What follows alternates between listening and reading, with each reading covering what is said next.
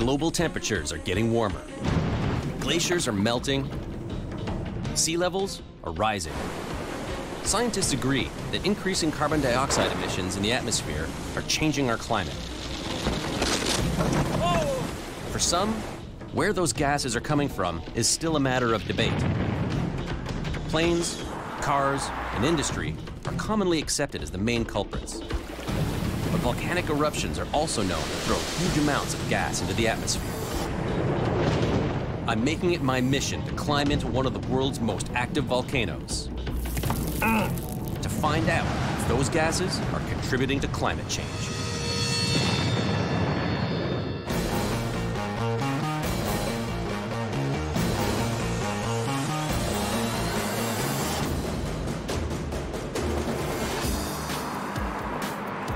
Me away every time I see this many cars. And this is just one highway in one city. How much carbon dioxide are we putting into the atmosphere? But it's not just us. There are other more natural sources of greenhouse gas as well. Things such as melting permafrost and cow farts, believe it or not. Some people even say that the volcanoes of the world are creating more greenhouse gas than all of the human activity combined. How do you respond to people who are, I don't even use the word skeptic, because skeptic is not the right word. The denier is a better word. Deniers who, who are claiming volcanoes contribute Yeah. more uh, greenhouse gases than all of the industrialized countries put together. What we're dealing here with is, is a deeply held belief system. Uh, some, it could have elements of political persuasion.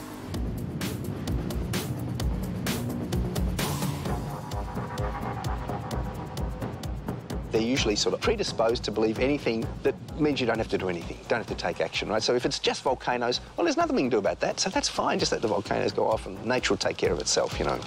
At any given time, there are 50 to 60 active volcanoes around the world. Eruptions expel huge amounts of gas into the atmosphere, which some believe is leading to climate change. I don't know if I buy that, but it's something I really need to check out. And I know just the place. My curiosity brings me to the nation of Vanuatu. It's a small archipelago of about 80 islands in the South Pacific Ocean. I've landed in the capital of Port Vila, but my final destination is the neighboring island of Ambrym, the home of one of the world's most active volcanoes. The weather there is notoriously awful. There's volcanic gas, there's acid rain, and of course the threat is always there for a larger eruption. So it's not the most hospitable place on Earth. I know this area of the world well. I even got married in 2006 on the lip of an exploding volcano in Vanuatu. That's where we're getting married, right at the top of the Yasur. And it's real active today. Now I'm going to an even more active and more remote volcano on the island of Ambrym. I'm getting some help on this expedition. Sarah, Finally here. nice to meet you. Nice to meet you. Welcome to Vanuatu. Sarah Hoffritz is an accomplished young geologist from Denmark. She has the equipment to help us determine how much dangerous gas the volcano is emitting and if it's contributing to climate change. Frequent eruptions on Ambrym create weather conditions that make flying to the island a challenge. It looks like we've lucked out with a clear day. The trick is, is it going to be clear on Ambrym. Typically, in the place is shrouded in cloud a lot of the time. So I've got my fingers crossed. I'm very hopeful. So far, so good.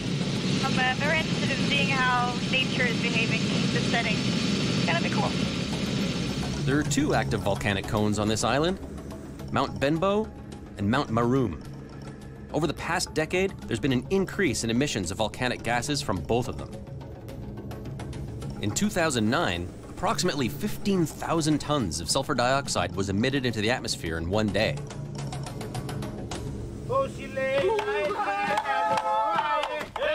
Despite the danger of these frequent eruptions, almost 9,000 people live on the island of Ambrym. To them, the volcano is a part of life. Before we head to the summit, Sarah and I want to gauge the effect the volcano is having on the local village of Endu. Is this your drinking water? Yeah. This water has a source right up on the mountain. And is it from a well? No, Or a it's spring? spring water. Spring water. Yeah. During major explosive eruptions, huge amounts of volcanic gas, including sulfur dioxide, get ejected into the atmosphere. Large clouds can pollute the air downwind of the volcano, and when mixed with moisture, can lead to acid rain. This contamination has harmful effects on water supplies for people, plants, and animals. Sarah came equipped to determine if this community is at risk. Today, we're testing the drinking water. What do we have here? This is a conductivity meter, and that will tell me how many ions in the water. 270. Yeah, 270 microsiemens. So that means there definitely is some ions in the water. Very likely some sulfur and some uh, fluorine, is still rather high. To put it into perspective, pure drinking water typically contains less than 5 microsiemens of concentrated minerals. This town's water is over 50 times that amount. Drinking contaminated water can damage teeth and bones. A recent government of Vanuatu report predicts a dire future for the island as future eruptions and resulting contamination from acid rain is almost certain.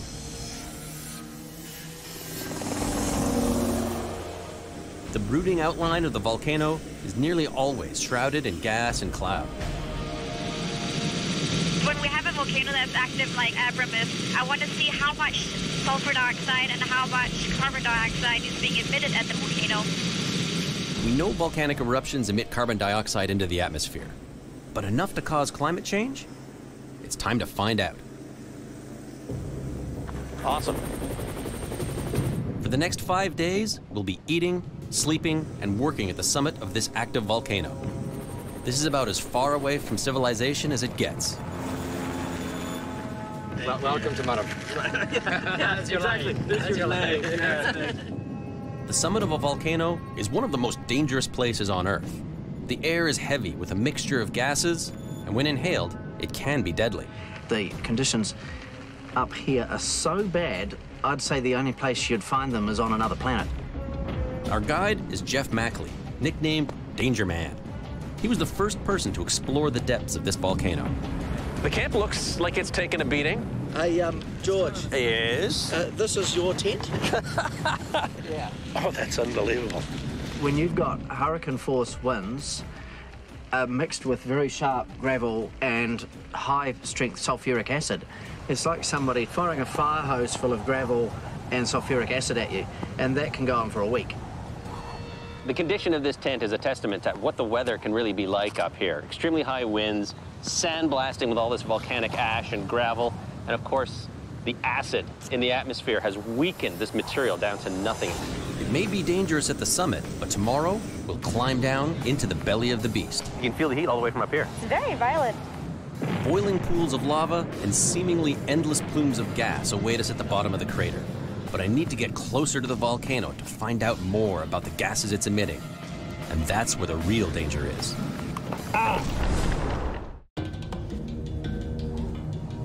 Very few volcanoes are capable of producing the amount of gas that Ambrym can. There are several vents here that are all vigorously degassing hydrogen sulfide, sulfur dioxide, carbon dioxide, hydrogen fluoride.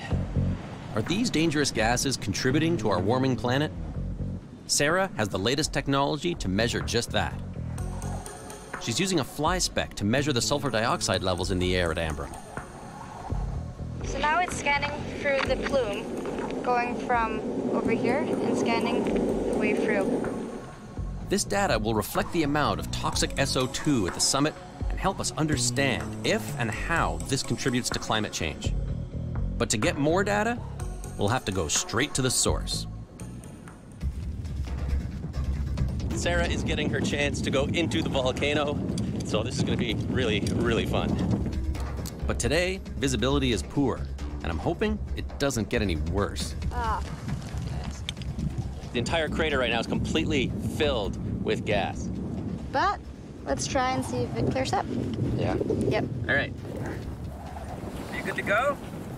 I feel so. For even the most experienced climber, this descent is a challenge. Nice. Brad, our guide, will be leading us down the tricky descent, and I'll be following behind Sarah.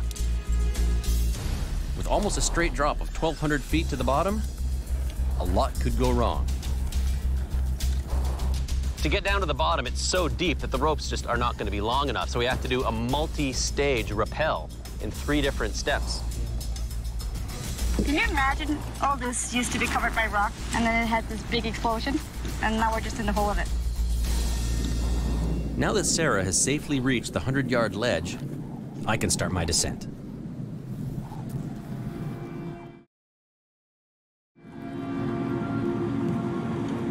This is insane.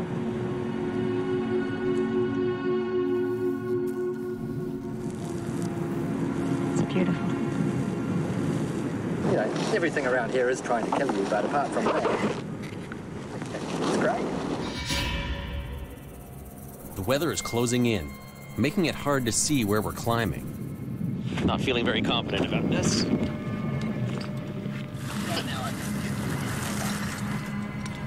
Brad calls off the climb. It's too dangerous. The visibility has gotten so poor that we'd be doing the descent virtually blind. Our visit to the crater will have to wait. Maybe next time.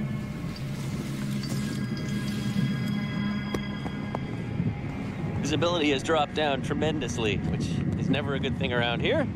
And I'm starting to feel some drizzle coming in, which usually leads to torrential rains and storms.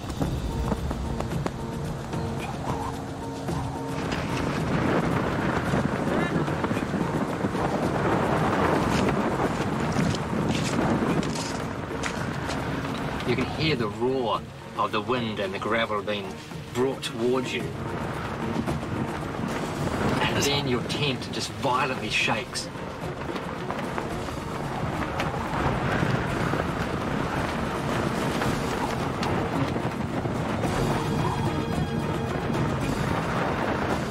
And it just keeps battering and battering and battering your tent until, you know, bit by bit there might be something that comes loose.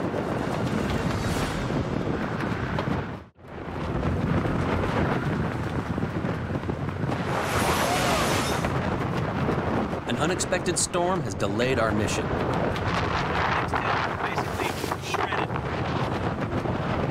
We need to seal that corner up too, or we'll lose that. We've done everything we can to secure our tents. Now, we just need to hunker down and ride out this ferocious storm.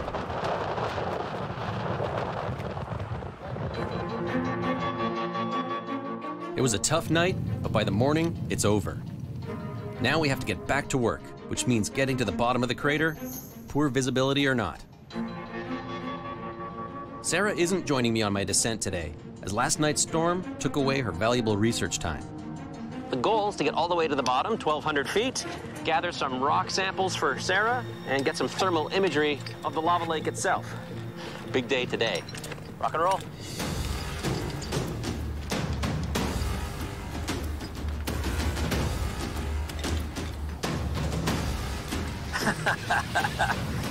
it's ridiculous. Just the sound of the lava lake below. It's wild. I've described it to people as sounding like the devil's washing machine. and you don't want to end up in that spin cycle. The biggest danger is rock fall. If you knock a rope, rock comes down, hits your buddy in the head, you're dead meat.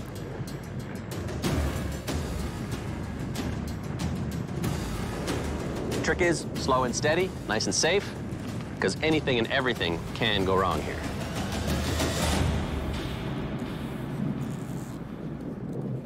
At the summit, Sarah is measuring how much carbon dioxide is being emitted from the soil. As long as a volcano is active, it's emitting gases. The carbon dioxide migrates through cracks to the soil on the side of the volcano. The levels of CO2 found will help Sarah in her analysis of whether volcanoes are leading to climate change. 3,000, 4,000, 5,000. I'm getting really high values. I want to see how it compares to measurements up on the crater side and getting closer and closer to the Caldera rim. It takes me two grueling hours to make it down to the bottom of the crater. Top side, I am free of the rope. Okay, we're gonna get our first look at this thing up close. Wow. This is liquid rock. The heat is just unbelievable right now. It's burning the back of my neck. Lava lakes are a rare phenomenon. formed when molten lava becomes trapped in a volcanic crater. First things first, I'm gonna get some thermal images. Examining thermal images helps us understand more about the volcano and its activity. Unless you've actually experienced lava firsthand, it's hard to comprehend just how hot it is. Normal body temperature is 98.6 degrees Fahrenheit. The average oven reaches 450 degrees Fahrenheit. 1200 Fahrenheit. This is a whole other level of heat. 1400, 1600, 1697. Holy cow. I gotta be careful, I'm definitely within the splash zone. Even the smallest piece of flying lava could burn through my clothes and skin. Ah, it's burning. All this ejecta coming out of the lava lake are very fresh, so that should be perfect for what Sarah needs. I just gotta grab a couple of fresh samples and watch my back at the same time.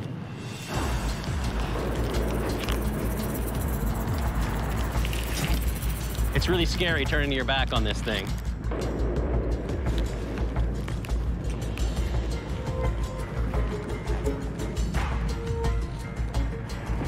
This really fine stuff is Pele's hair. When the bubbles on the lava lake burst, they form these tiny little hairs and they'll drift all the way up to camp. I can get a little bit closer, but I'm gonna have to put on my special heat suit. It's a good thing I came prepared. This suit can withstand temperatures up to 3,000 degrees. I think I'm ready. If you want to get a really good view, you have to be protected, otherwise the radiant heat is just too much. Wow. That is about as crazy as it gets. My big concern right now is watching for pieces of lava splashing up. Wow. Here's some big pieces coming. Big pieces coming. I can't leave before collecting some samples for Sarah. Oh, here we go. Here's a really fresh piece, still glowing hot. Oh, ah, ah, even with the gloves. Today was a success.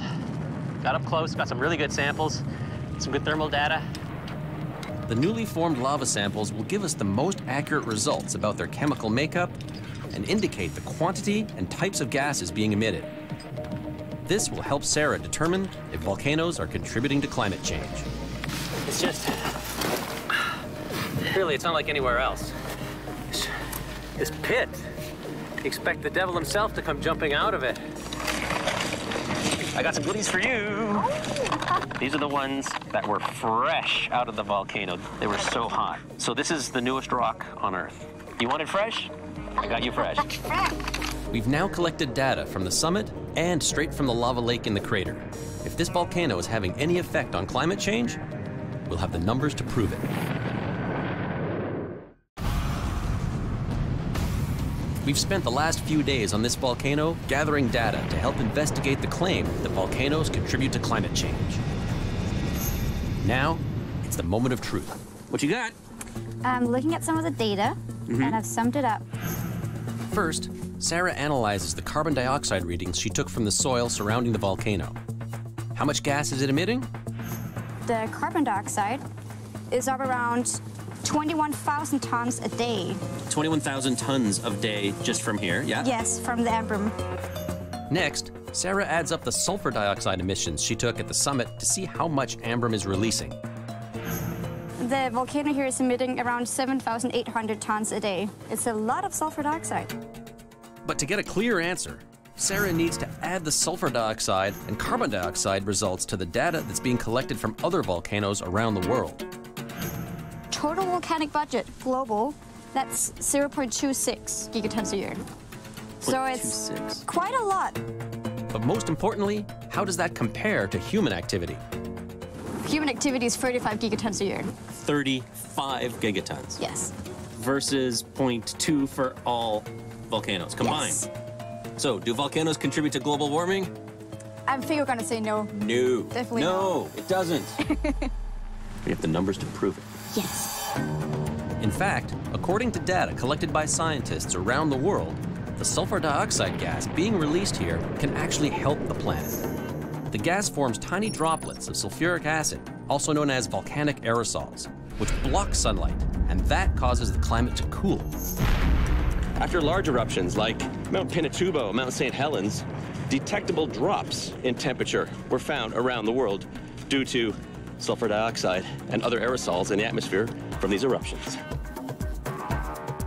Even with all this unimaginable heat, power, and gas that comes out of not just this volcano, but all the world's volcanoes, the amount of greenhouse gas that comes out of them only amounts to about 1% of the total greenhouse gas emissions into the atmosphere.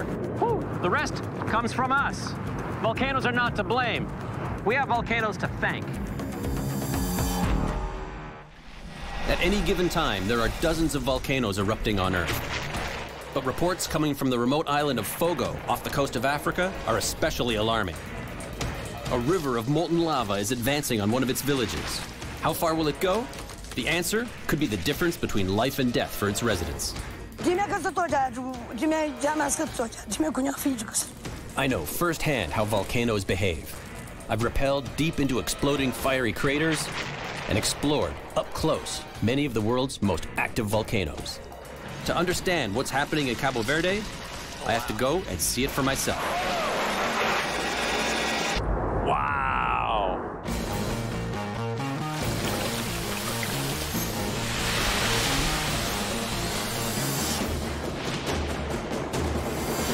I'm on my way to Cabo Verde, cluster of 10 volcanic islands off the coast of West Africa. Santiago is the largest of the islands. From there, I'll travel to the island of Fogo, where its namesake volcano is erupting furiously. The last eruption on Fogo happened in 1995. 1,300 people were forced to flee their homes in the middle of the night as lava flowed through their houses and blocked the only road access to the town of Portela. Will the damage be as severe this time? Reports suggest it might actually be worse. Once in Santiago, I meet up with local guide Simon Levy to get up to speed on what's happened since the volcano started erupting just one week ago. What are they saying about the situation? The situation uh, is bigger than the last eruption in 1995. And this eruption could end tomorrow, or it could go for months. The people there and here also is all in panic, so they don't know what will happen. So that's the problem. Wow, there is some concern that this whole area will be filled. Yes, because uh, Santos Caldeiras, the volcano is higher, so all the small village around down. Yeah. So the lava just goes to the lowest points and fills up. I need to get up there for myself and see where this lava is going and provide my assessment to emergency officials. With the Fogo airport closed, I have to travel by ferry. Sorry. Squeeze on through. And I'm not the only one. Emergency aid workers are also making their way to the island. Looks like we're starting to line up now. The people that are evacuating from Fogo are just getting off of the ferry now, and hopefully soon, within the hour, I'll be on the boat and on my way. Hopefully.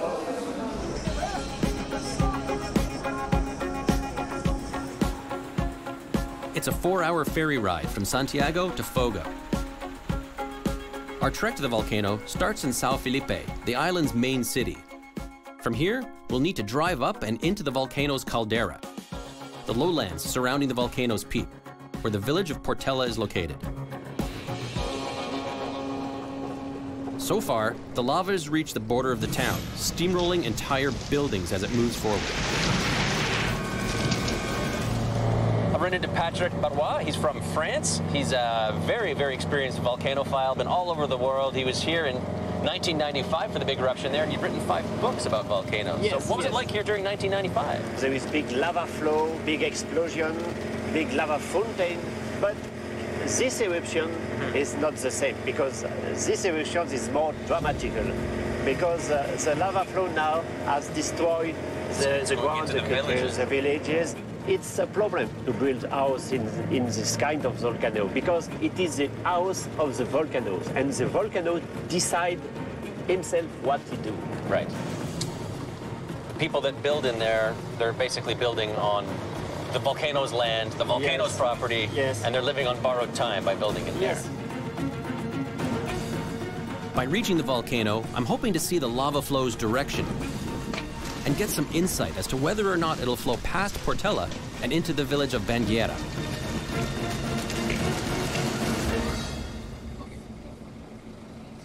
It doesn't take long to hit roadblock number one.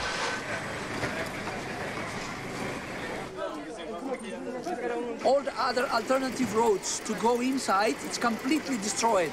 So that's the reason they stopped, because Portela village is completely covered with the lavas at the moment. This is one of the villages where the people who've been evacuating from the basically the destroyed towns have been setting up shop.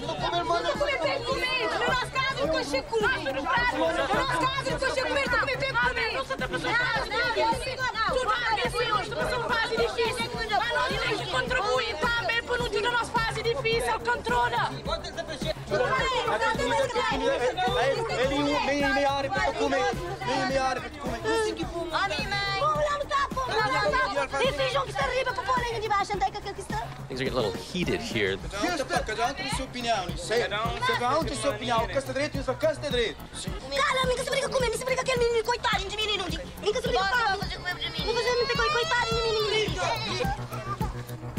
There are tents, there's food, there's water, but it's crowded. There's uh, only one toilet for the whole facility, so some of the people are not too pleased. The people who live here feel they're not being listened to and their needs are being ignored. They're extremely vulnerable, forced to live in the shadow of a volcano in order to take advantage of the rich soil this dangerous corner of the Earth offers. Part of Portela is already hit. Hopefully, the lava will stop before more damage is done. So let's go to say. Well, let's get up to, of course, where we can. How many lives are in danger? I've got to keep moving if I'm going to find out.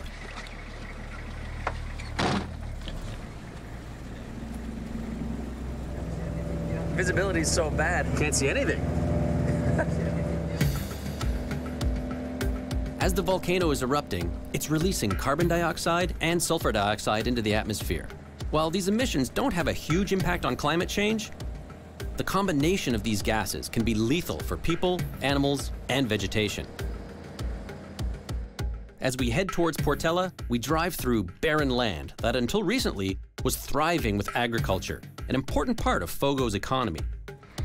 Despite the dangers of growing in close proximity to the volcano, more and more people are settling here because there's nowhere else for them to scratch out a living on the island. All right. I finally come face to face with what I've come here to see the river of lava. So this is the brand new lava flow. It's uh, probably a couple of days old. It's not hot. It's warm.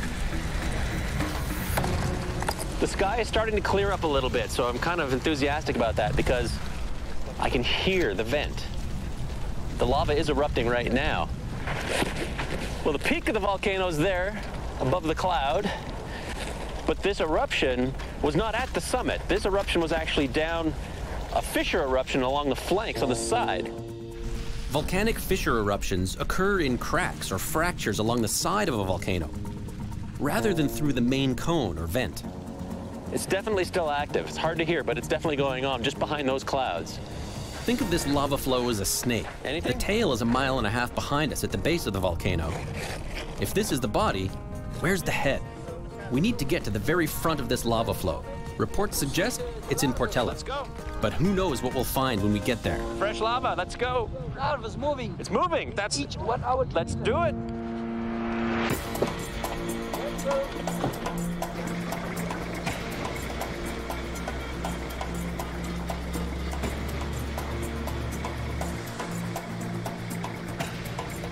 Three days ago, you could keep driving right to Portela. But unfortunately for us, this fast moving river of lava passed through, leaving a wall of solid rock in its wake. This used to be the road to the town of Portela, but for some reason, they can't use it anymore. Literally, the end of the road. A construction crew is further up the hill trying to build a new road so the town has access again, but it's going to take some time. Giving up and turning around isn't an option.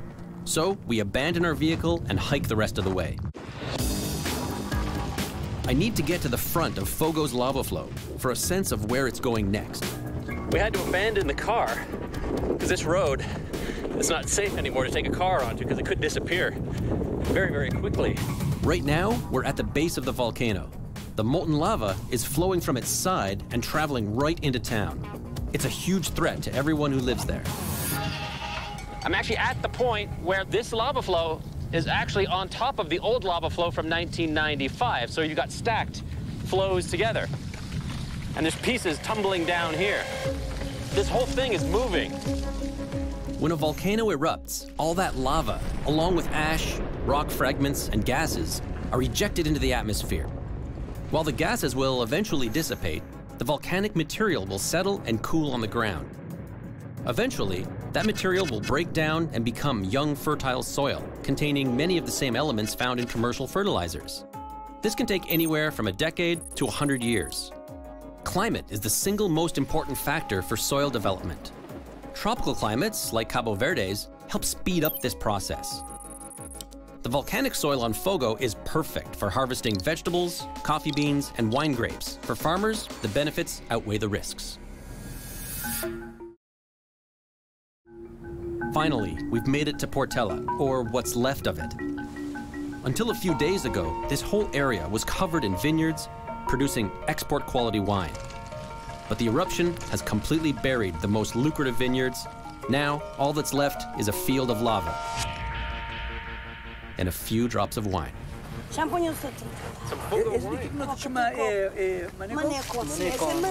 So this is the last wine that was produced here. It's the very last batch. There will never be any more like this. Ai, a minha quintura. Ó, quintura de caçula. Oh, that's very strong. That's good. We knew the town had been hit, but nothing could have prepared us for this.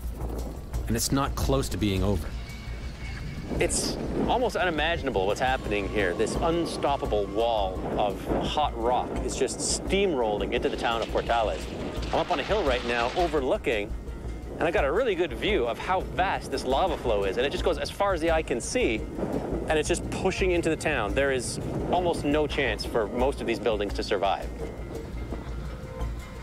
Locals are trying to save as much as they can. They've removed doors, windows, furniture, and carried everything up the side of the hill where they pray the lava won't reach.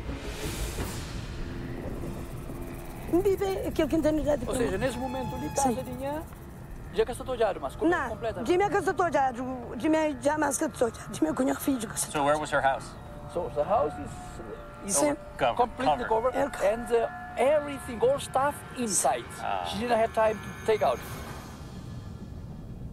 The people of Portela have not only lost their homes, they've lost their livelihoods. It's absolutely devastating.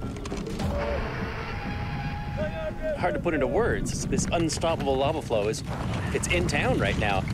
This is the head of the beast I've been chasing across the island. If I want to get close enough to analyze this lava, I need my heat-resistant suit. It can protect me from temperatures of up to 2,000 degrees. Now, what this suit does is it protects me from the radiant heat. What it does not protect me from is the actual rocks, these avalanches of lava chunks. So the lava here is, is actually a little bit more fluid than in the other part of town.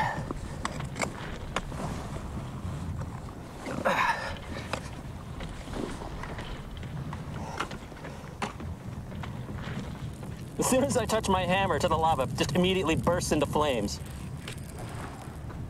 Ah, even with the suit, that is unbearably hot. It's burning my ears. Ow! Ow! I'm using an infrared thermometer. Lava can reach temperatures up to 2,000 degrees Fahrenheit. I've gone off the scale. This lava must be hotter than the 1,000 degrees that this thermometer can read. Off the scale. Okay, that's useless. Evacuation of these homes began as soon as the volcano first erupted. Wow. Oh, jeez. Holy smokes. Less than a week ago, the family who lived here was forced to evacuate in the middle of the night, taking with them whatever they could carry. The glass is broken. The door is hot. Wow, more glass coming through. very, very soon, this wall is going to just completely come crashing in. I don't think this lock is going to hold it for much longer. It sounds like rain or hail outside, but it's actually rocks coming in.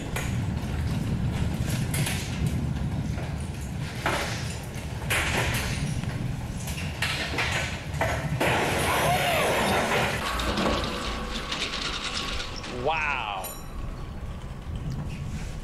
That was uh, something. I may have just avoided death by steamrolling hot lava. Even though the lava appears to be moving relatively slowly, it's actually moving at 100 feet an hour. It would take it under three hours to cross a football field. That's fast. In four days, the lava has destroyed just about everything in this town, and by the end of the week, another town will be in the lava's path. To me, it blows my mind how we all live on this thin skin, this crust on top of the Earth. If you were to shrink the Earth down to the size of an apple, the crust that we live on would be about as thick as the skin on that apple. And everything else inside is basically this. Civilization exists because of geological permission, which is revocable at any time. I don't know how we do it. It's amazing. It's the reason volcanoes are so closely monitored. Except poor countries don't always have the resources and latest technologies to observe them as carefully as they'd like to. This really is a world problem. While it's too late for Portela, other towns on the island are still at risk. So for now, my biggest concern is just how far this lava flow can go. And for that, I've got to get closer to the source. And I've just met a local who might be my ticket to the top. It flies up about 600 feet and then it comes down, so it cools off on the way down. Yeah, but- but it's still enough in instant. I mean, it goes like this. We thought the whole place was gone. How difficult is it to get there? Man, 10 minutes. So you can drive right up to a point and then walk for 10 minutes? Yeah, I got my car right over here. I love you. There's tons of seismic activity. Yeah. This area is not stable. I mean, absolutely not. Just it's very, very, very quiet right now. But they do not know if the, it's going to blow or not. I'm trying to help these guys get rid of their wine, so I had a few glasses. I mean, they ain't going to be able to pump all of it up. So I'm going up there in a little while. It takes about got about an hour walk back to the car. Yeah. But the twilight hour is the best. You'll see the smoke and the flames. Yeah, I mean, so- it gets dark. You can only see the I mean, if we can shit. follow you- Sure, no. So I met up with this very odd dude whose name is Vince, and he says that he can get me up to the vent. So I'm gonna trust him and follow him right now and see if we can get up there. It's starting to get dark, so we should be able to see that real incandescence coming up from the volcano. So I don't know how this is gonna work out, but uh, stay tuned. We'll see. Vince knows the roads of this island like the back of his hand. He usually leads fishing charters, but tonight he's guiding us as close to the eruption as possible. Then we'll have to hike the rest of the way. Hopefully, getting this close to the source will get me the answers I'm looking for. Now that night has fallen, I can clearly see that there's almost continuous explosions going on on the flank of the volcano. There's actually two very vigorous vents and a lava flow coming down the side. It's a little hard to see still, but that just means I have to get a bit closer. All right, folks. The really big lava flow, that's what's heading down into the towns. But higher up, the explosive part of the eruption, to me, it looks like there's too much lava for these explosions. So I think there's some lava tube or something below, further down the mountain, that's feeding these lava flows. Lava tubes are formed when the top of lava flows harden and forms a roof above it. It acts like a tunnel and drains the lava from the volcano. This may mean the threat is greater than I thought, and many more communities could be at risk, starting with the neighboring town of Bangaeira. Every time there's an explosion, I can feel the shock wave and the ground shaking. This is what's called a Strombolian eruption, named after the active Stromboli volcano in Italy. It spews lava at regular intervals. You can see these lava bombs shooting up just hundreds and hundreds of yards up in the air and tumbling down the side.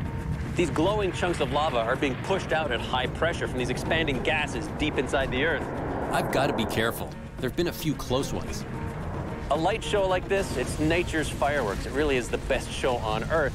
However, at the same time, if you're downhill of one of these things and the lava flow is coming for your village or your house, it's hard to appreciate the beauty.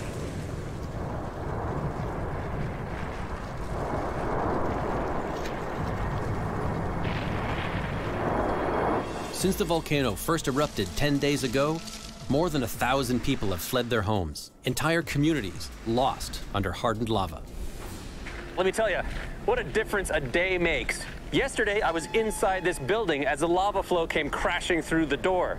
Today, the entire building is completely destroyed by this lava flow. The good news is that it has stopped, for now. I can still hear in the distance the volcano erupting, so it could restart at any time. We don't know exactly what the future is going to hold for this town. The economic impact is enormous.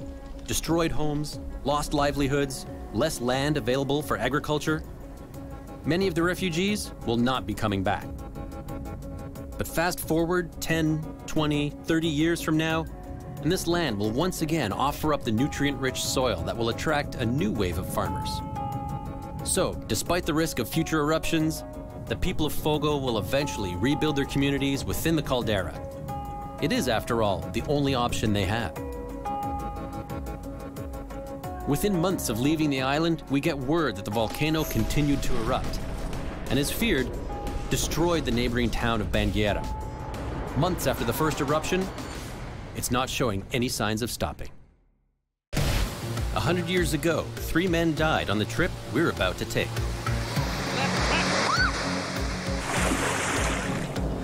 We're retracing a hundred-year-old expedition on one of the world's most dangerous rivers. Let's get ready to bolt. The Amazon jungle was once a mighty foe for explorers.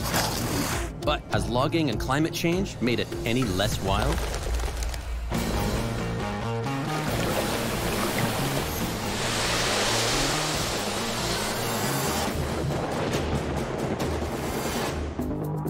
Explored many corners of this earth, but none are more endangered and more important to the health of our planet than the Amazon rainforest. I'm about to follow in the footsteps of a legendary US president to find out how serious the problem is. I'll have some company on this adventure. My friend, travel writer Kristen Sarah will document this journey on her blog. The smaller the plane, The bigger the adventure. So we're on our way to a remote landing strip deep in the Amazon jungle, a place on the Rio Roosevelt, which is a river that was named after Teddy Roosevelt himself. It was 1914, three years after his second term as president, when he embarked on an expedition to explore an uncharted river deep in the Amazon jungle. It was a trip that very nearly killed him. They faced raging rapids, wild animals, they lost boats, supplies, they went hungry. Three members of his expedition didn't make it out alive. What better way of gauging the mood of the area than by retracing the most dangerous part of that expedition to see this untamed land for myself?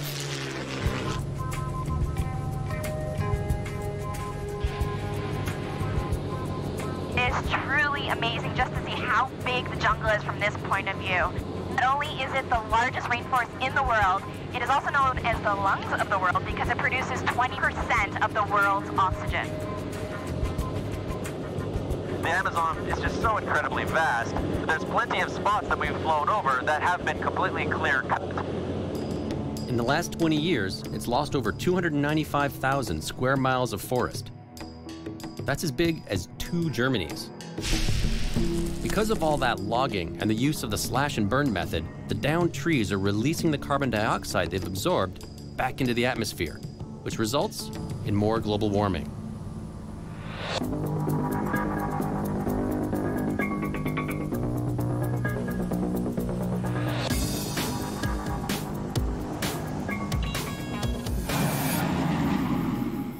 All right, we made it. Deforestation is far from the only threat to the region. Huge parts of it are drying up because of drought. That's a direct result of climate change. The forest isn't producing the water vapor, which forms the clouds that put the rain in the rainforest.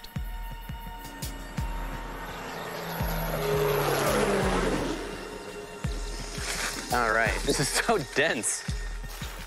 We're making our way to a point in the river where Roosevelt and his men started the hardest part of their expedition It was a gutsy journey. We're going to duplicate part of it to find out how climate change has altered this once wild jungle. So, what do you do if you're the President of the United States? You've already served two terms. You tried to go back for a third, was unsuccessful. Do you retire? Just fade away? Not if you're Roosevelt. He came down to the Amazon and did a kick ass expedition in one of the wildest places on Earth. I mean, that guy was the most badass president of all time. He had a pet badger. He carried a gun in the White House. He got shot in the chest in an assassination attempt and got on stage and gave a 90 minute speech. Complete badass.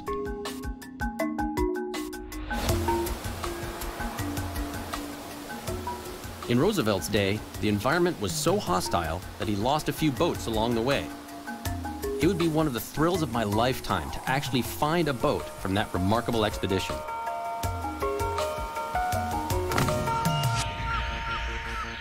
Our location is right here. The Rio Roosevelt flows to the north. It's 400 miles long, with many sections that are completely impassable.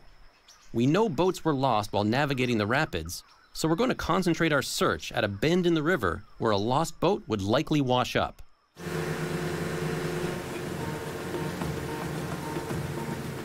Torrential downpours are on the horizon as rainy season gets underway. We have no time to lose.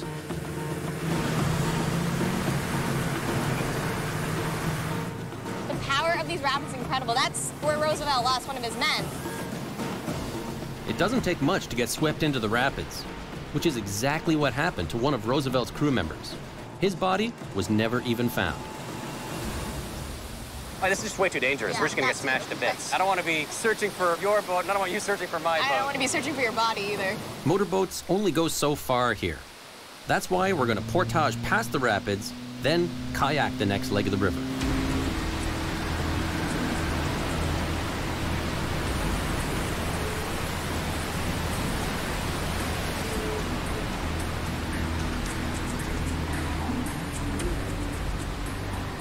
The rapids are so powerful. I can actually feel the ground shaking.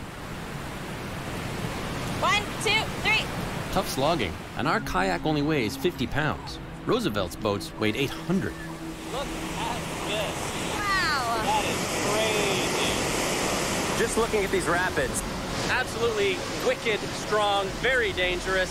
Scares the hell out of me. It's not the kind of place you want to fall in. So much power. It just makes sense to portage around this. For us, yeah, it's tough, but for the guys years ago, this would have been a multi day effort.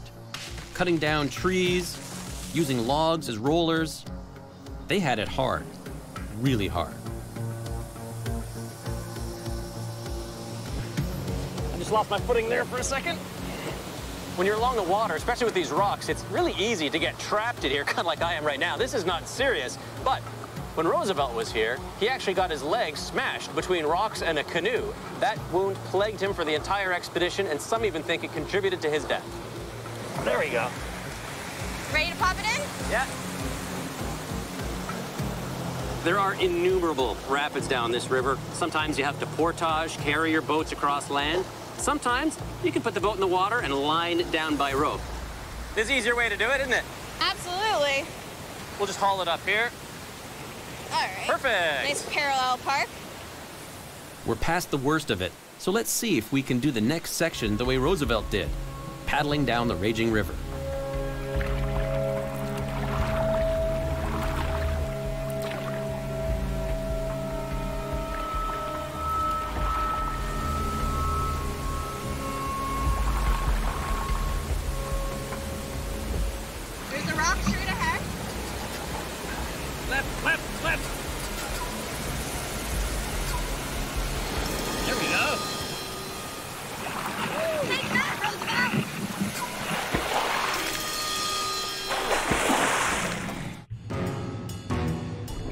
we just got our first taste of what Roosevelt was up against.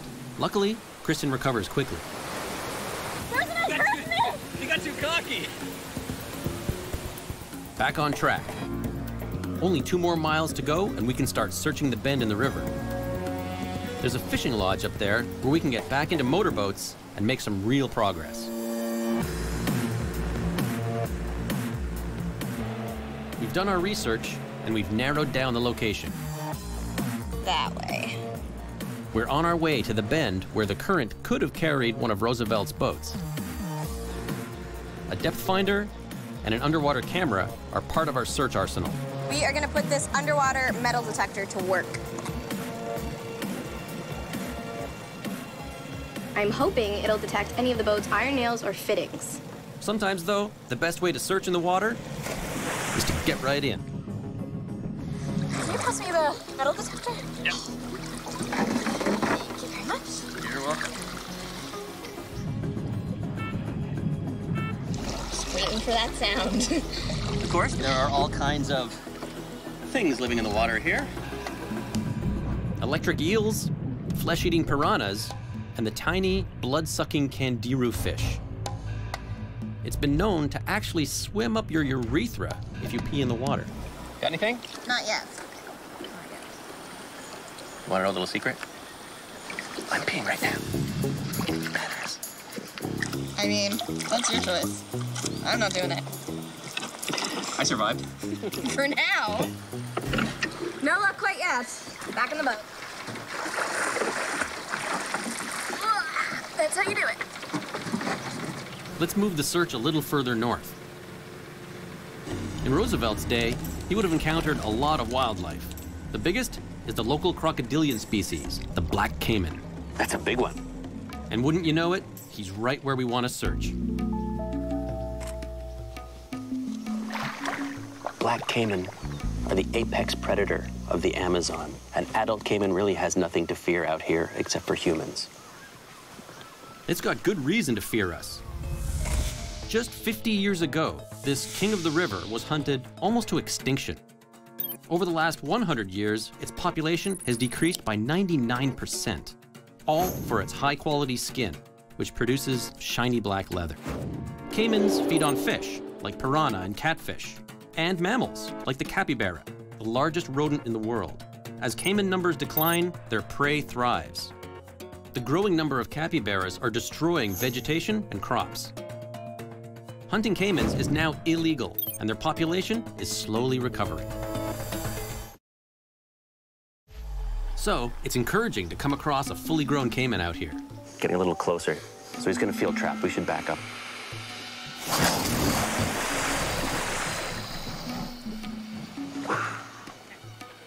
These animals can't seem to catch a break, though. Their new enemy is drought. North of here, caiman populations are down again as water levels drop. I'd love to get a better look at this guy. At the same time, let's lure him away from our search site by offering him some lunch. Downriver.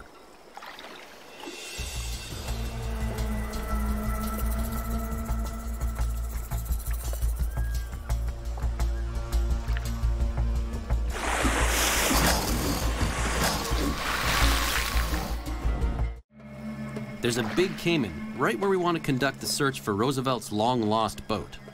So, we're trying to lure him away.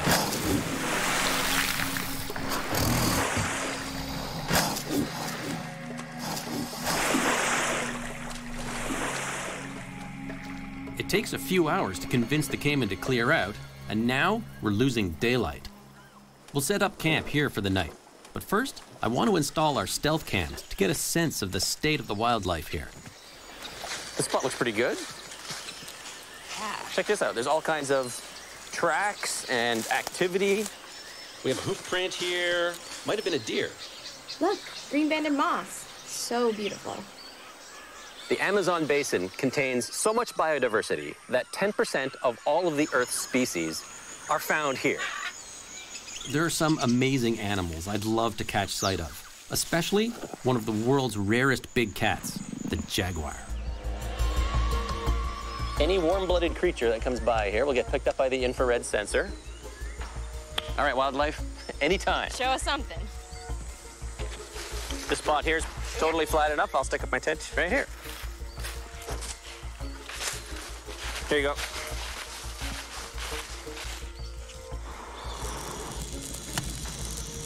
Just want a little fire.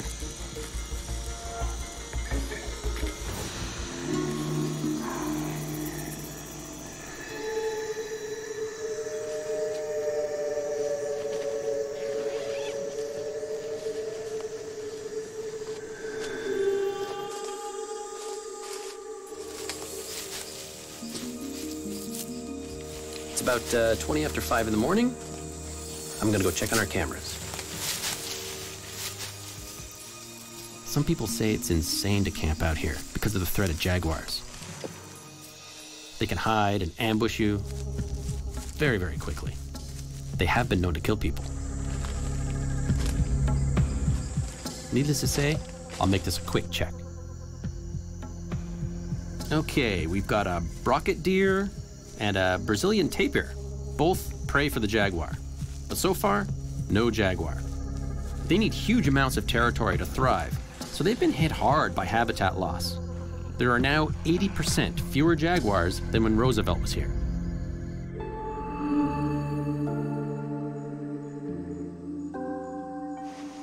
Whoa! George, come check this out. Those like jaguar What you got? paw prints. Holy smokes, those are huge. That's incredible. Must have come down to take a drink. You see it stepped and then dragged its claws. Oh yeah. And that's not the only wildlife this beach has to offer this morning. These weaver birds make the most intricate nests. Hello, Mr. Tarantula. So, how is climate change going to potentially affect the Amazon jungle? Well, it's hard to say, but a 2009 study suggested that as little as a three degree rise in temperature could destroy up to 75% of the rainforest. And that's combined with deforestation, which not only destroys the area being logged, it also increases soil erosion and degrades rivers.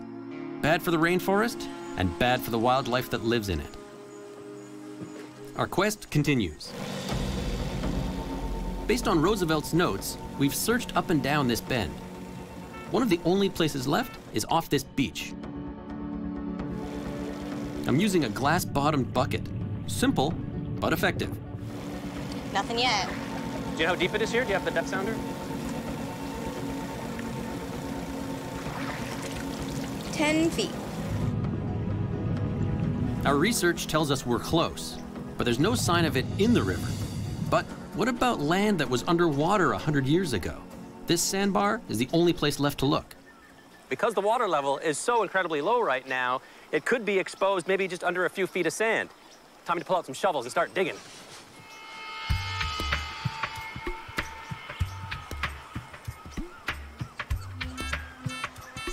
Oh. Right here. There's definitely something buried here.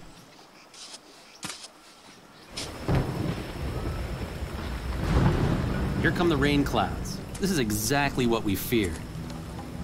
It could rain for days, and this sandbar will be submerged again. We've got to keep digging.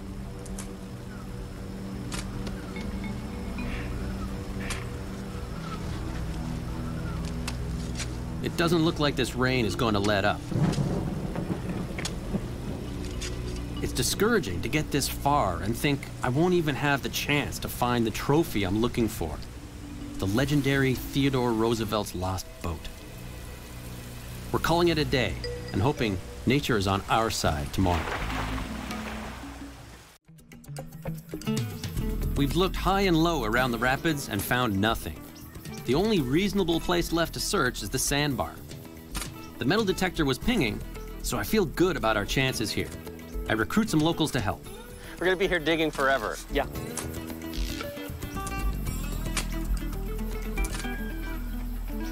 Something? Something wood? Hey! Oh, yeah. We must have dug a dozen different holes on this beach. And finally, we've come across It looks like a boat. what looks like a boat. So it looks really, really promising. Really big. Yeah, it's definitely a It seems like it's really big. It's definitely a boat. This really looks like a dugout canoe. Yeah. The boats on the Roosevelt expedition were made from a single tree trunk, split in half and hollowed out. They measured about 10 feet long. Oh, lightheaded. I think we might have found Jimmy Hoffa and Amelia Earhart and D.B. Cooper.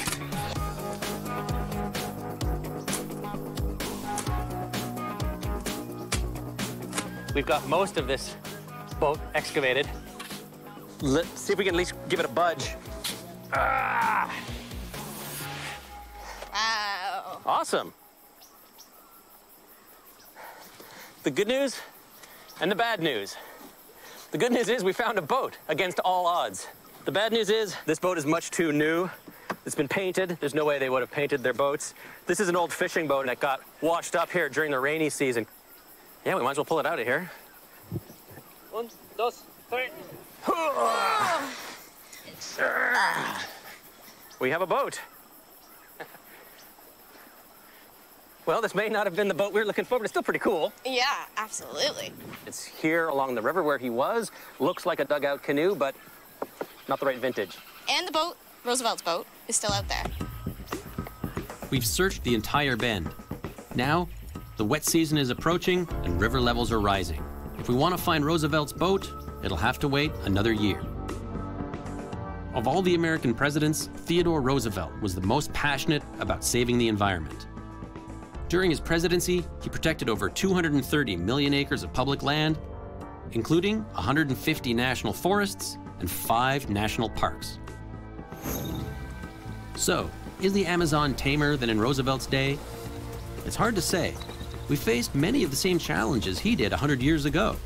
What's different is today the rainforest is suffering the effects of human activity through deforestation and climate change. Great strides have been made to reverse the damage, but it'll take a lot more effort to make sure this remains one of the wildest places on Earth.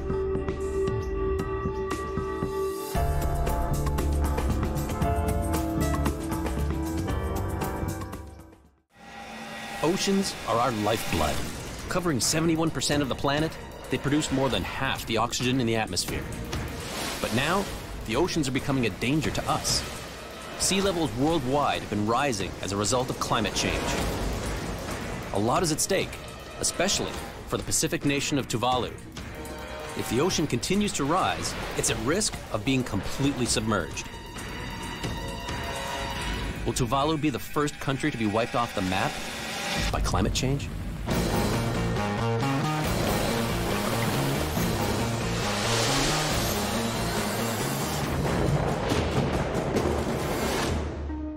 Our oceans are vast, spanning two thirds of the planet and accounting for 97% of our water.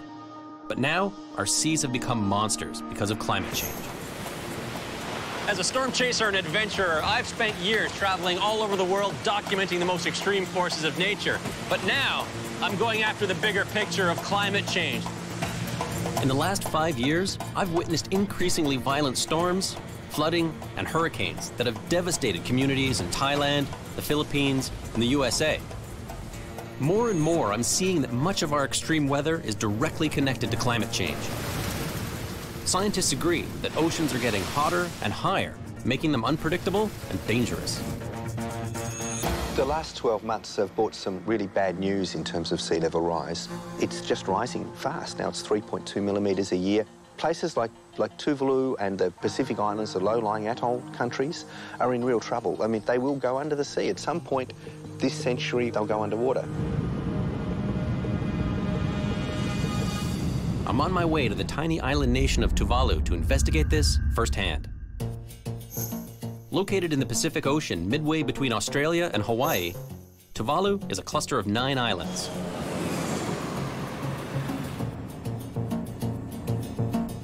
My arrival here in Tuvalu is ominous. There's torrential rain and the whole area is flooded.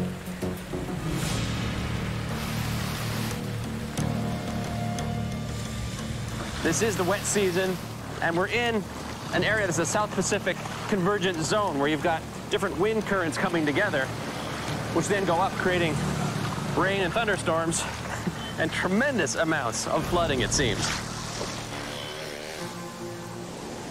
With only 10 square miles of dry land, Tuvalu is one of the smallest countries in the world.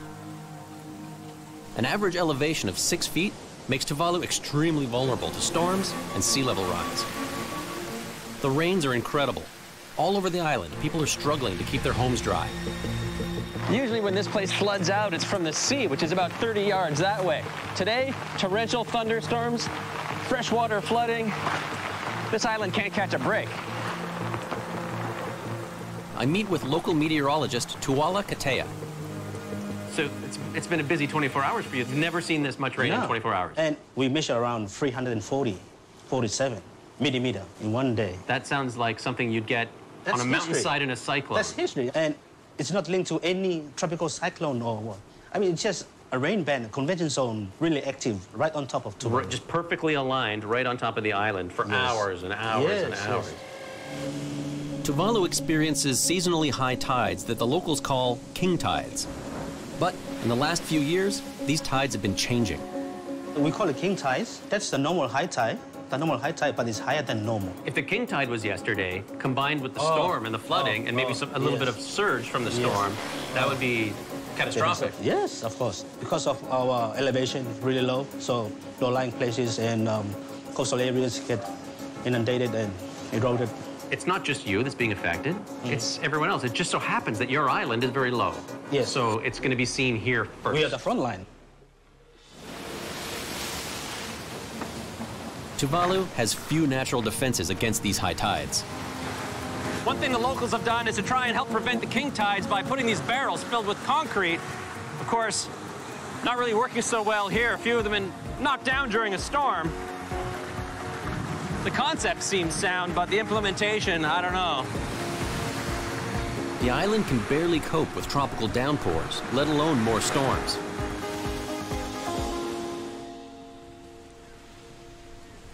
This one has finally passed, but the damage on the island is long lasting. Yesterday there was some torrential rain like I haven't seen in a long, long time anywhere. And some of the houses here actually flooded out by that. It's not just seawater they have to worry about here, it's rainwater as well. So this place got totally flooded out yesterday. Yeah, starting at 8 o'clock last night, the water started coming in and the family was totally sleeping. They didn't know what was happening till the neighbors called Right. out. So around about 8, the water was all over here, going inside. It was flooded everywhere. Let's take a look. Wow. Everything is up on tables. This is the first time that they have experienced this and have been evacuated. They just put up everything that are useful for the family, um, like the refrigerators and everything, and put up high. Where did they end up going? They went up to the Tuvalu Red Cross. Like many of the houses in Tuvalu, this house is located only 160 feet from the shore. So could you imagine, with 5,000 or so people on this island, a major catastrophe? If we have a two meters uh, high king tide, it will just destroy us all. The global sea level has been rising at a rate of 0.14 inches per year since the early 1990s, roughly twice the average speed of the preceding 80 years. It's a dangerous scenario. In the last century, the planet's temperature has risen at an alarming rate. Scientists have shown that human activities are driving temperatures up with our reliance on fossil fuels that emit greenhouse gases. As those gases trap more energy from the sun, oceans absorb more heat and expand. Climate scientists predict global temperatures will increase by 2 to 11 degrees Fahrenheit by the end of the century. Higher temperatures are also leading to increased melting of glaciers and polar ice caps, resulting in greater runoffs into the ocean and increasing sea levels. I asked climate scientist Elizabeth Holland more about the data. We looked at solar radiation, we looked at rising sea level, we looked at the temperature of the oceans, we looked at the temperature of the atmosphere, we looked at the temperature of the land. Warming is unequivocal. We've been able to say more and more strongly that humans are causing the warming. As ocean surface temperatures heat up, scientists predict an increase in the number of intense storms. The islands of Tuvalu are so low-lying and small, only 400 yards at the widest point, that they could easily be submerged. This is basically it. I'm surrounded by ocean on three sides of me with just a tiny spit of land connecting me to the island. Probably the most vulnerable point on one of the most vulnerable islands. You've got the lagoon side over here and the ocean side here. It's all converging on this one tiny spit. One thing that scientists are certainly in agreement about is that a lot of the heat that's trapped by greenhouse gases is getting absorbed by the ocean. Let's see how warm the ocean is today. Okay, so just over 80 degrees. As the water heats up, it will expand, and that actually contributes to global sea level rise. But that 80 degree point, that's sort of the threshold for tropical cyclone formation. You need water of at least that warm, and we've certainly got it here. Such a low-lying island is really at risk for not only sea level rise, but the torrential storm surge flooding that you can get during tropical cyclone season. I tell you, I wouldn't want to be standing right here during one. Increased sea temperatures can have devastating consequences across the globe. Rising oceans are one of the deadliest results of climate change. Warm water is the fuel for hurricanes, typhoons, tropical cyclones. And the warmer the seawater, the more we're going to see of these storms, and particularly the strength of these storms. A low-lying island like Tuvalu is particularly at risk.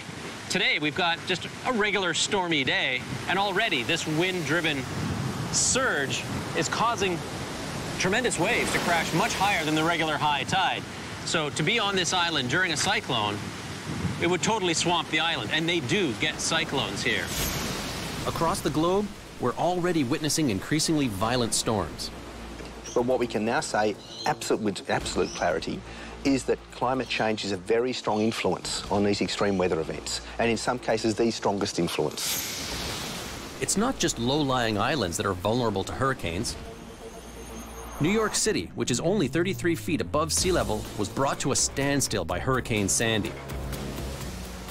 I was in New York for Sandy, and even though I've been an active storm chaser for over 15 years, it was one of the most intense storms I've ever experienced. The storm surge during Sandy was 13 feet above normal. It was one of the most devastating and expensive natural disasters in U.S. history. 117 people were killed, and it cost the U.S. $65 billion. It created an unprecedented surge for that part of the world. 51 square miles of the city were flooded. That's 17% of the city landmass. More than 440,000 New Yorkers were living in the areas that Sandy flooded. I watched the storm come in from Rockaway Beach. I was able to go up onto the boardwalk, which was maybe 10 feet above the beach, and I knew that the place was going to be completely demolished. I could see the violent waves just churning away, and I knew that the winds were going to shift as the storm got further inland, and that's exactly what happened. We knew we had to get out of there, or else we wouldn't get out of there. I drove to higher ground, but all around me, whole neighborhoods in Queens and Brooklyn were underwater. Such a storm used to only happen about once every hundred years, but now we're seeing these devastating storms more and more often. Only one year later, on the other side of the world in the Philippines, Typhoon Haiyan hit, killing over 6,000 people.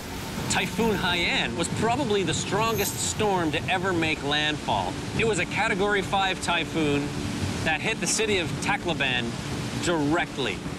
The storm surge with that was completely devastating. It came in like a tsunami. The Philippines gets hit quite frequently. They're used to typhoons. They've never seen anything like this one. It was so devastating that it was almost beyond comprehension the level of damage and destruction that was caused by this storm. And I think that as sea levels get warmer and higher, it's inevitable we're putting ourselves at greater risk to the wrath of these marine storms, whether it's a hurricane, a typhoon, a tropical cyclone.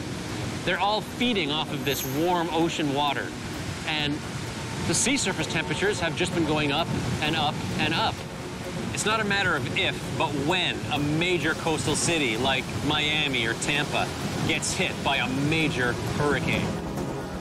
The danger on Tuvalu isn't just from these massive storms. There's also a serious threat from below.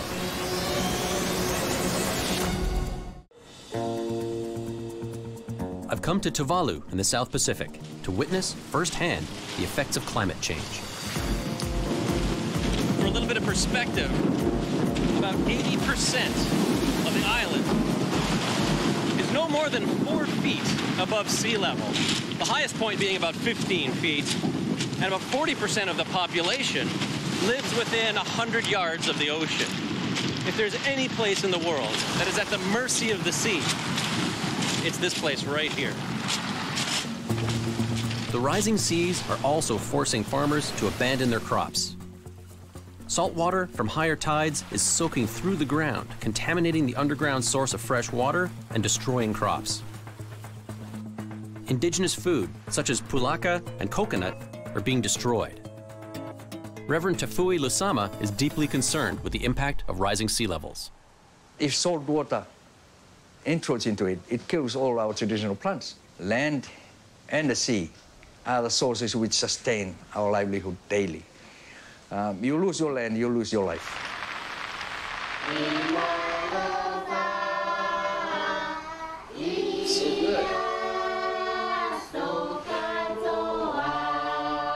Tonight, I'm joining the Tira Taula family for a traditional home-cooked meal. But foods like this are becoming harder to harvest. This is a steamed fish.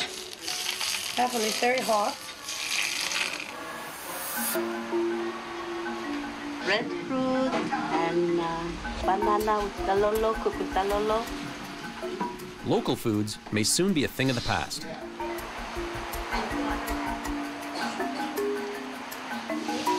What a treat to enjoy some South Pacific hospitality. Going into someone's home, having a home cooked meal. It's the best. Our people can no longer depend on our traditional way of life. So we are left with no option but to turn into a, a market-based lifestyle. With traditional crops being threatened by rising oceans, locals are relying on more processed foods. With all of these changes that have been going on, it's become more and more difficult for the farmers here to grow some of the traditional food crops. And especially since World War II, they've become quite dependent on foreign-made processed food and doesn't really help them in their struggle for food security, which is becoming a big issue here in Tuvalu.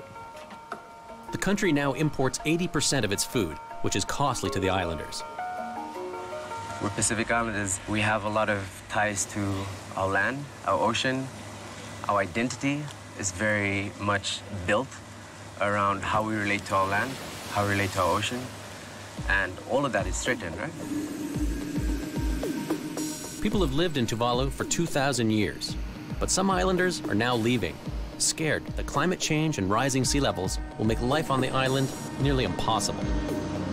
Our identity as a people will disappear, will die out. If I am relocated because of climate change and my country has gone down, where do I belong? I have no roots. Tuvalu is not responsible for the catastrophe it's facing. It's no surprise the largest emitters of man-made greenhouse gases are the world's largest countries, China, United States, the EU, and India. Here in the islands, we, we contribute the least to greenhouse gas emissions, yet we're the most affected. Tuvalu, the fourth smallest country in the world, has almost no carbon emissions, but they're at the front line. As those in the developed world drive their cars and turn up their heat or decide to build one more coal-fired power plant, it is the Tuvalus of the world that will go underwater because of those choices. Environmental activists are taking up the cause, encouraging the people of the Pacific Islands to fight for changes on a local and global scale. In 2014, they took their fight to Australia and blocked the largest coal port with canoes to make their voices heard. Right now, that's the message that we want to get out there. Climate change is real, we are living with it, and sooner or later the world needs to change if we don't start demanding that the world transitions to more renewable sources of energy. There's no plan B. There's yeah. no plan B, there's no planet B. But Tuvalu is fighting back. In an effort to hold on to their island, the locals have raised money from an unlikely source. Each country has its own internet suffix. .de for Germany, .au for Australia, .ca for Canada. Well, here in Tuvalu, they've got .tv, and .tv has become so popular, especially amongst people in the television world, that it has quite an appeal. The money raised by selling the suffix goes into repairing roads, improving barriers, and planting mangrove trees to fight against coastal erosion. If worse comes to worst, and Tuvalu disappears under the waves, that suffix will still exist, creating what could possibly be the world's first virtual country existing only in cyberspace. While Tuvalu is disappearing, it's far from alone in its coastal erosion. The problem is not confined to Tuvalu. It's not peculiar to Tuvalu only. It's a global problem. The Maldives are also under threat. A unique archipelago made up of 2,000 islands could almost disappear into the sea by the end of the century if nothing is done to curb global warming. It's not just low-lying island communities that are at risk. With predictions that sea levels could rise by up to six feet over the next century, South Florida will be badly affected. A three-foot rise would take away a third of the land, and a six-foot rise would submerge half the area. The condos that line Miami's waterfront would disappear. What do you think is the biggest misconception about climate change in general? The biggest misconception is that because it's a slow process, we can wait to take action. Because climate change is a very slow process. But we're at that tipping point. We need to take action today. The people of Tuvalu are desperate for the rest of the world to sit up and pay attention. What does the world need to know about Tuvalu? I think it, it's very important that um, that we are part of the world, and I think that as a Tuvaluan, despite how small we are, we need to speak out that we do exist and we are parts of who you are, whether you are in Canada or in America. We are all part, we are the people of this world, and we need to be together and work together. Just a month after I left Tuvalu, Cyclone Pam tore through the neighboring Pacific islands of Vanuatu, causing extensive damage. It also affected Tuvalu, forcing it to declare a state of emergency. This cyclone is a painful reminder that action must be taken. Global temperatures cannot be allowed to rise another two degrees. If countries around the world can find a way to reduce their greenhouse gas emissions, then Tuvalu and other countries in danger will have a fighting chance at survival.